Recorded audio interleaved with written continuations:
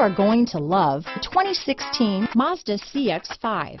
With its fuel-efficient engine, engaging driving experience, and daring styling, the Mazda CX-5 is a good pick for those seeking a sporty yet thrifty crossover SUV. Here are some of this vehicle's great options.